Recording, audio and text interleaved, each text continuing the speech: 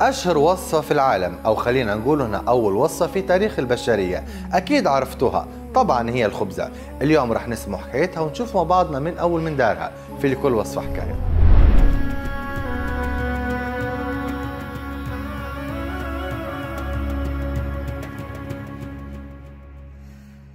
خلينا نبدو بالإنسان القديم أو بداية البشرية من حوالي 14 ألف سنة. أول من بدأ الإنسان في زراعة الحبوب وكان يصعب على الجهاز الهضمي تناول الحبوب.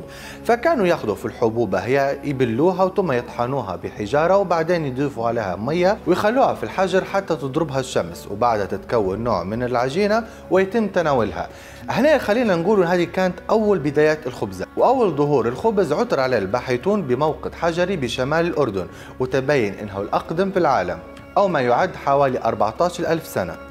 وهذا الاكتشاف دفع العلماء أن البحث علاقة ارتبطت بين إنتاج الخبز ونشأة الزراعة ويؤكد بعض الباحثين أن الخبز صنع لأول مرة في وسط آسيا ثم وصل إلى البحر الأبيض المتوسط عن طريق بلاد ما بين النهرين ومصر. بفضل وجود علاقات التجارية بين آسيا وأوروبا عن طريق سوريا فاختيار أنواع الحبوب المستخدمة هو ما أدى إلى ظهور العديد من أنواع الخبز المعروفة اليوم وكانت الأقدم الأنواع تصنع من خبز الشعير أو خلينا نقوله من حبوب الشعير كانت ظروف زراعة الحبوب في حوض النيل كويسة لدرجة أن كان في شهر يوليو كانوا يزرعوا في الحنطة وفي القمح وكانوا يحولوا فيها لنوع من الدقيق وكانوا يستخدموا فيها في الخبز. لحد ما وصلت الإمبراطورية الرومانية عن طريق أفريقيا وظهرت بعض الأدلة الأثرية التي تؤكد أن أعداد الخبز في مصر القديمة أن العجينة المتروكة لوقت على الهواء حتى تتكون نوع من الجراثيم اللي هي معروفة بوقتنا الحالي اللي هي الخميرة. أو خلينا نقول بتفعيل عملية التخمير. وهذا العجين كان يصنع من الدقيق الممزوج بين القمح وبين دقيق الشعير. وظهر عديد من الدلائل أن مصر كانت أول من صنع التخمير للخبز.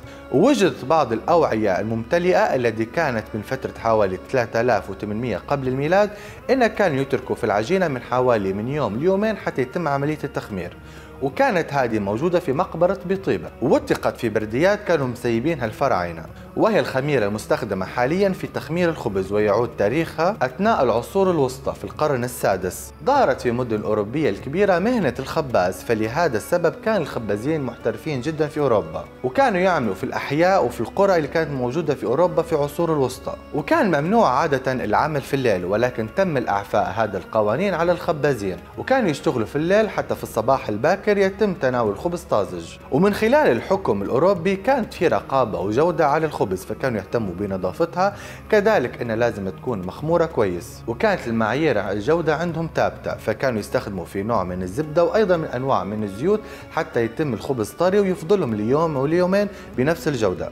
تم إدخال أثناء هذه الفترة الافراند والحطب حتى يتم جودة الخبز بنوع كويس. وكانوا كل أهل القرية يتم إعداد الدقيق يدويا حتى يتم توزيعه عند الخبازين ليصنعوا به الخبز حتى تم إدخال المطاحن الرياح في عند الحملة الصليبية الأوروبية. وكان استخدامها يسهل على الخباز إنه يأخذ الدقيق بكل سهولة ويصنع به الخبز. في القرن الثامن عشر بدأت طرق جديدة في التخمير التي قامت الطاهية إيميليا سيرزيون عام 1796 بنشر وصفات وطرق للطعام الآلي وتستخدم بها كربونات البوتاسيوم ووصفات قائلة أنها حمض قلوي. وإن عندما تفعيل هذه الحمضيات ينتج غاز أو ما يسمى بغاز ثاني أكسيد الكربون حتى يتم عملية التخمير بسرعة. ويمكن اعتبار الكربونات البوتاسيوم كتخميرة كيميائية أو ما يعرف بوقتنا الحالي ال baking powder والمحسنات. أو خلينا نقول هي اللي سرعت عملية التخمير من يومين ثلاثة أيام لحوالي ساعة أو ساعتين. وهي كان اختراع كويس ولكن تم استغلالها بالغش وكانوا ياخذوا بجودة أقل من نوع من أنواع من الدقيق ويتم تضاعف الحجم بتاعها. وهذا علاش ولت الخبزة رديئة بعض الشيء بالعصور اللي كنا نشوف فيها إحنا اليوم. وأدت الثورة الصناعية ظهور أفضل أنواع المطاحن والآلات اللي تم استخدامها بالخبز.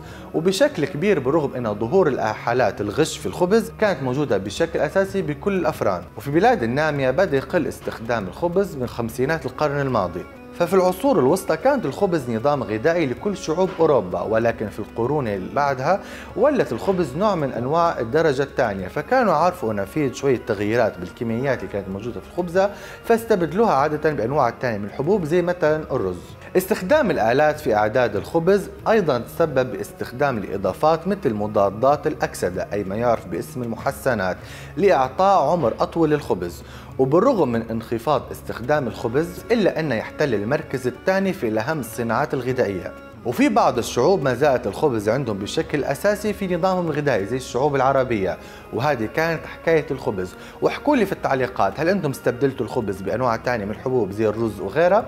كان معاكم إيهاب بن رجب وهذه كانت حكاية الخبز في كل وصفة حكاية.